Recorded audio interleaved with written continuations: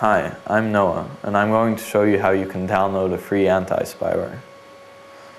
Often you'll see ads on the internet advertising some kind of expensive solution to get rid of all your spyware and adware problems, claiming that your computer is slow because of them, and that if you simply click on this link or pay this much amount of money, then they'll magically go away.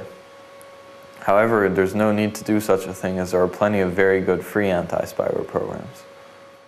If you have a valid licensed copy of Windows, then you can download a free anti-spyware directly from Microsoft called Windows Defender. This is a very efficient program for getting rid of spyware and tends to work very well.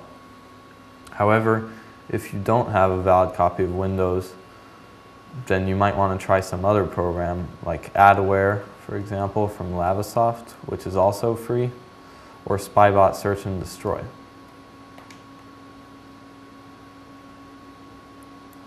These are all free programs, so no matter what, don't get tricked into paying for an anti-spyware when you don't have to.